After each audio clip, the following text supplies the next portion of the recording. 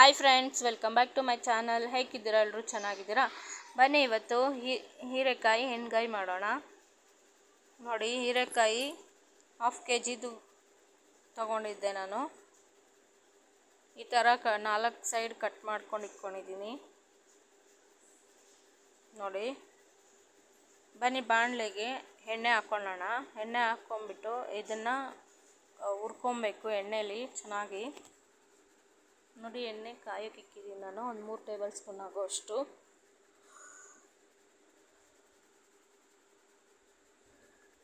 ಇದು ಸ್ಟವ್ ಕಮ್ಮಿ ಇಕ್ಕೊಂಡು ಹಾಕ್ಕೊಳ್ಳಿ, ಇಲ್ಲಾಂದರೆ ಎಗ್ರು ಬಿಡುತ್ತೆ ಎಣ್ಣೆ.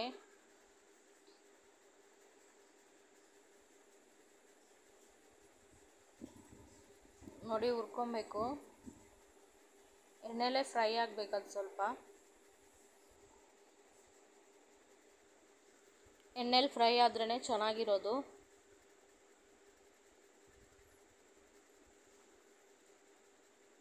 ಗ್ರೇವಿ ಚೆನ್ನಾಗಿ ಬರುತ್ತೆ.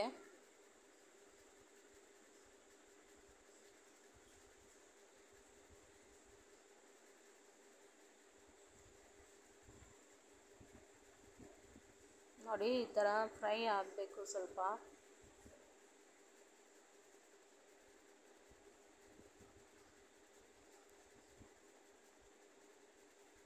ಹೀರೆಕಾಯಿ ಹಾಕೋವಾಗ ಲೋ ಫ್ಲೇಮ್ ಇಟ್ಕೊಳ್ಳಿ, ಉರಿಯೋವಾಗ ಸ್ವಲ್ಪ ಹೈ ಫ್ಲೇಮೇ ಇಟ್ಕೊಳ್ಳಿ.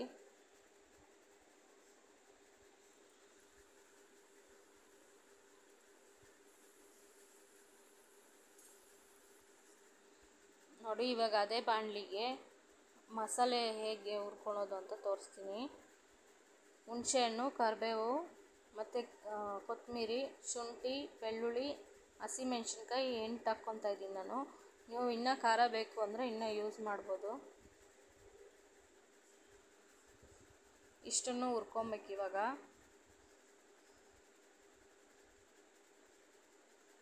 ನಾವು ಹೀರೆಕಾಯಿ ಎಣ್ಣೆ ಹುರ್ಕೊಂಡಿರ್ತೀರೋ ಆ ಎಣ್ಣೆಲ್ಲೇ ಹುರ್ಕೊತಾ ಇದ್ದೀನಿ ನಾನು. ಇಷ್ಟನ್ನು ಹುರ್ಕೊಂಬಿಟ್ಟು ಎಳ್ಳು ವೈಟ್ ಎಳ್ಳು ಬರುತ್ತಲ್ಲ, ಆ ಎಳ್ಳು ಒಂದು ಐದು ಟೇಬಲ್ ಸ್ಪೂನ್ ಹಾಕ್ಕೊಳ್ಳಿ.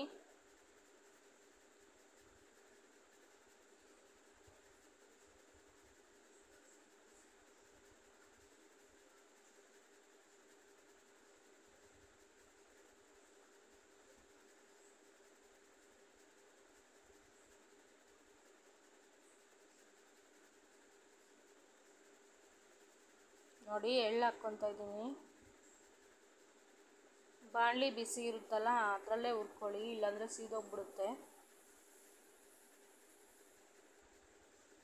ಇದು ಹುರಿದಿದ್ದಾಗಿದೆ ಮಿಕ್ಸಿಯಲ್ಲಿ ಹಾಕ್ಕೊಂಡಿದ್ದೀನಿ ನೋಡಿ. ಬೆಲ್ಲ ನೋಡಿ, ಬೆಲ್ಲ ಸ್ವಲ್ಪ.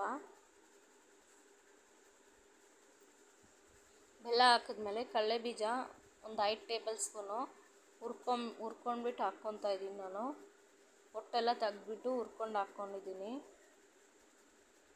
ನೋಡಿ ರುಬ್ಕೊಂಬಂದಿದ್ದೀನಿ ನೋಡಿ ಈ ಥರ ರುಬ್ಬಿದ್ರೆ ಸಾಕು. ನೋಡಿ ಗ್ರೀನಿಶ್ ಆಗಿ ಬಂದಿದೆ. ಒಂದು ಬಾಣಲೆಯಲ್ಲಿ ಒಂದು ಮೂರು ಟೇಬಲ್ ಸ್ಪೂನ್ ಆಯಿಲು, ಜೀರಿಗೆ ಮತ್ತು ಸಾಸಿವೆ. ಅದು ಚಿಟಪಟ ಅಂತ ಅಂದಮೇಲೆ ಈರುಳ್ಳಿ ಮತ್ತು ಕರಿಬೇವು ಹಾಕ್ಕೊಳ್ಳೋಣ ನೋಡಿ ಈರುಳ್ಳಿ ಎರಡು ಹಾಕ್ಕೊಂಡಿದ್ದೀನಿ ಕರಿಬೇವು ಸ್ವಲ್ಪ ಹಾಕ್ಕೊಂಡಿದ್ದೀನಿ ಹುರ್ಕೊತಾ ಇದ್ದೀನಿ ಇವಾಗ. ಸ್ವಲ್ಪ ಫ್ರೈ ಆಗಲಿ. ಈರುಳ್ಳಿ ಸ್ವಲ್ಪ ಫ್ರೈ ಆಗಬೇಕು.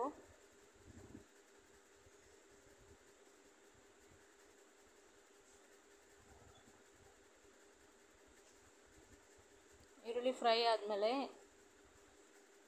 ಹೀರೆಕಾಯಿ ಹುರ್ಕೊಂಡು ಇಟ್ಕೊಂಡಿರ್ತೀರಲ್ವ, ಅದನ್ನು ಹಾಕ್ಕೊಬೇಕು. ಈ ಎಣ್ಣೆಲ್ಲೇ ಸ್ವಲ್ಪ ಬೇಯಿಸ್ಕೊಬೇಕು ಅದನ್ನು. ನೋಡಿ ಹಾಕ್ಕೊತಾ ಇದ್ದೀನಿ.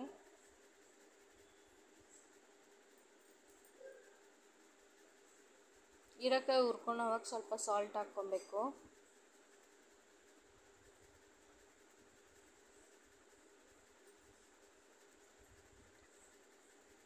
ನೋಡಿ, ಈ ಥರ ಫ್ರೈ ಮಾಡ್ಕೊಂಬಿಟ್ಟು ತಟ್ಟೆ ಮುಚ್ಕೊಬೇಕು. ಅದರಲ್ಲೇ ಎಣ್ಣೆಲೇ ಸ್ವಲ್ಪ ಬೇಯಬೇಕದು. ಅದು ಸ್ವಲ್ಪ ಫ್ರೈ ಆದಮೇಲೆ ಮಿಕ್ಸಿ ಮಾಡ್ಕೊಂಡಿರ್ತೀರಲ್ವ, ಅದನ್ನು ಹಾಕ್ಕೊಳ್ಳೋಣ ಮಸಾಲೆ.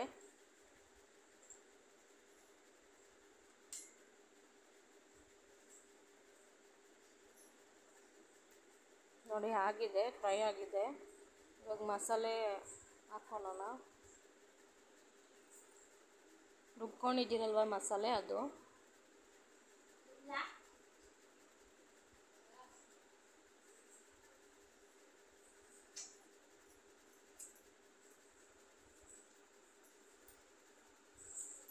ನೋಡಿ, ಅರಿಶಿನ ಸ್ವಲ್ಪ ಒಂದು ಹಾಫ್ ಟೇಬಲ್ ಸ್ಪೂನ್ ಅರಿಶಿನ ಹಾಕ್ಕೊಂಬಿಟ್ಟು ಹುರ್ಕೊಬೇಕು.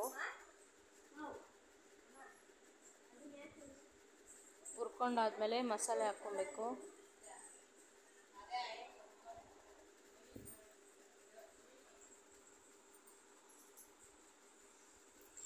ನೋಡಿ, ಮಸಾಲೆ ಹಾಕ್ಕೊತಾ ಇದ್ದೀನಿ.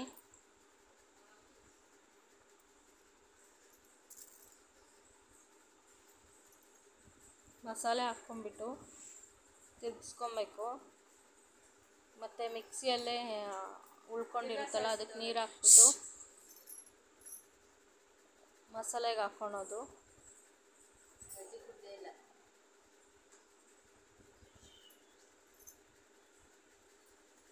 ನೋಡಿ ಇವಾಗ ಮಿಕ್ಸಿಯಲ್ಲಿರೋ ನೀರೇ ಹಾಕ್ಕೊಳ್ತೀನಿ. ನೀವು ಬೇಕಂದರೆ ಇನ್ನೂ ಸ್ವಲ್ಪ ಹಾಕ್ಕೊಂಬೋದು ನೀರು. ಹಾಗೆ ನನ್ನ ಚಾನಲ್ನ ಯಾರು ನೋಡ್ತಾ ಇದ್ದೀರಾ, ಸಬ್ಸ್ಕ್ರೈಬ್ ಮಾಡ್ಕೊಳ್ಳಿ, ಲೈಕ್ ಮಾಡಿ, ಶೇರ್ ಮಾಡಿ, ಕಮೆಂಟ್ ಮಾಡಿ. ಪಕ್ಕದಲ್ಲಿರೋ ಬೆಲ್ ಐಕನ್ನ ಕ್ಲಿಕ್ ಮಾಡ್ಕೊಳ್ಳಿ ನೋಟಿಫಿಕೇಶನ್ ಬರುತ್ತೆ.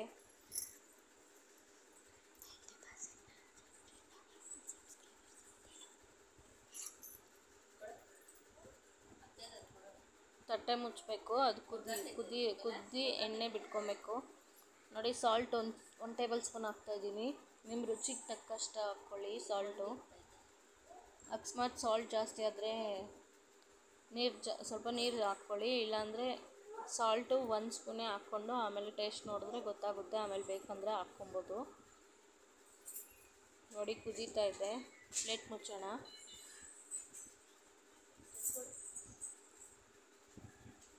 ನೋಡಿ, ಪ್ಲೇಟ್ ಮುಚ್ಚೋಣ. ಕುದೀತಾ ಇದೆ ನೋಡಿ, ಇವಾಗ ಗರಂ ಮಸಾಲ ಒಂದು ಟೇಬಲ್ ಸ್ಪೂನ್ ಹಾಕ್ಕೊಳ್ಳೋಣ. ಅದು ನೋಡ್ಕೊತಾ ಇರಿ ಇಲ್ಲಾಂದರೆ ತಳ ಅಂಟ್ಬಿಡುತ್ತೆ.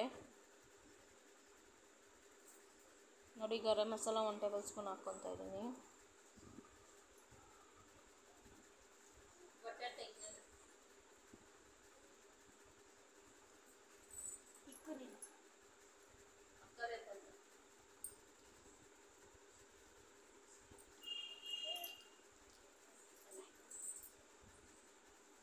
ನೋಡಿ, ಈ ಥರ ಕುದ್ದಿದ್ಮೇಲೆ ಇದು ರೊಟ್ ರೊಟ್ಟಿಗೆ ದೋಸೆ, ರೊಟ್ಟಿಗೆ, ಚಪಾತಿಗೆ ಮತ್ತು ಅನ್ನಕ್ಕೆ, ಮುದ್ದೆಗೆ ಎಲ್ಲ ಚೆನ್ನಾಗಿರುತ್ತೆ. ಸೂಪರಾಗಿರುತ್ತೆ ಇದು. ಹೀರೆಕಾಯಿ, ಎಣ್ಗಾಯಿ ಚೆನ್ನಾಗಿರುತ್ತೆ, ನೀವು ಟ್ರೈ ಮಾಡಿ. ನೋಡಿ, ಕುದೀತಾ ಇದೆ. ಹೀರೆಕಾಯಿ ಹೆಣ್ಗಾಯಿ ರೆಡಿ ಆಗಿದೆ ಫ್ರೆಂಡ್ಸ್ ಹೀಗೆ ನನ್ನ ಚಾನಲ್ನ ಸಪೋರ್ಟ್ ಮಾಡ್ತಾಯಿರಿ ಧನ್ಯವಾದಗಳು ಫ್ರೆಂಡ್ಸ್